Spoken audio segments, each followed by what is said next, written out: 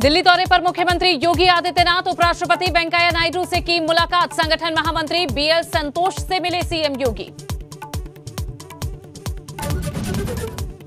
PM Modi से भी योगी आदित्यनाथ करेंगे मुलाकात। शाम पाँच बजे मुलाकात का समय। पार्टी अध्यक्ष जेपी नड्डा सहित भाजपा के अन्य नेताओं से भी मिलेंगे योगी। मंत्रिमंडल के चेहरे पर फाइनल बात संभव। यूपी में होली के बाद नई सरकार का गठन। एबीपी गंगा से बोले प्रदेश अध्यक्ष स्वतंत्र देव सिंह पहले कार्यकर्ता मनाए होली, बाद में शपथ की तैयारी। उत्तराखंड चुनाव में हार के बाद कांग्रेस में हाहाकार। कांग्रेस सह प्रभारी दीपिका पांडे ने पार्टी के राष्ट्रीय सचिव और सह प्रभारी पद से दिया इस्तीफा। कांग्रेस आलाकमान को सेवा का मौका देने के लिए शुक्रिया अदा किया। और यूपी में चुनाव खत्म होते ही काम पर बुलडोजर, सीतापुर, सोनभद्र और आगरा में अवैध निर्माण पर एक्शन। बुलडोजर की मदद से अतिक्रमण को कराया गया मुक्त।